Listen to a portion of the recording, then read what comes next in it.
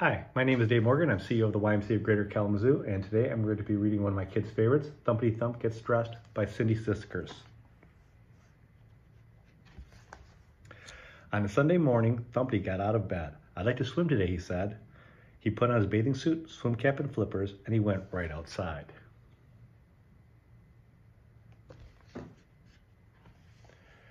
It's much too cold for swimming, said Thumpity, so he went back inside. Thumpity put on his overalls and his shirt. He sat at the table and drank some juice.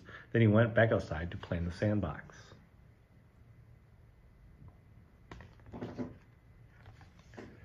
It's much too windy to play in the sand, said Thumpity, so he went back inside. Thumpity put on his warm, woolly sweater. He found, found his kite. Papa Thump helped him untangle the kite string.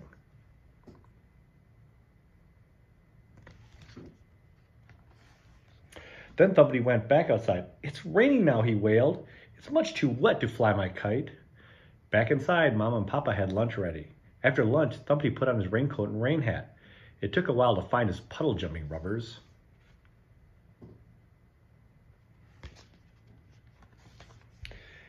When he got back outside, Thumpity was surprised again. The rain had turned to snow.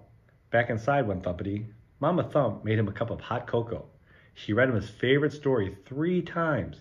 Then Thumpity put on his snowshoe, boots, scarf, hat, and mittens.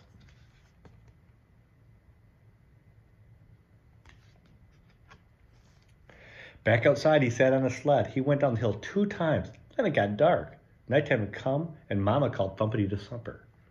Back inside, Papa Thump said, I have just the right thing for you to wear now. He helped Thumpity get into his snuggly red pajamas.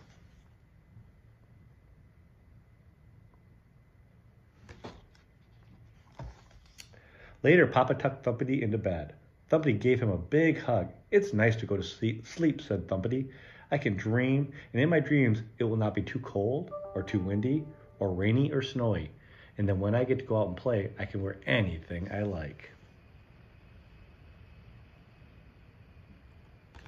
The end. Thank you.